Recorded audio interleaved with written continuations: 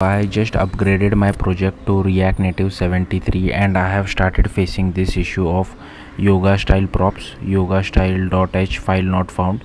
Uh, so this could happen for the new architecture and uh, it could happen for if uh, like if you are building your own uh, fabric module then it could happen or if it could happen if you are installed a third party dependency which has fabric uh, inside it and you have enabled the new architecture so currently i'm not using any third party dependency. I'm using my own uh, uh, li library. Like i have created my own fabric module. So what i have to do is so there is an already an issue created for this.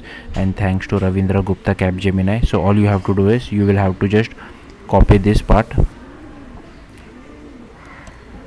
Uh, go to your rn app uh, like whatever your project name is. Uh, so my project name is rn app. Go to uh, build settings inside that search for header search paths. So over here and I will open this click on the plus button and just add this and it should be non-recursive.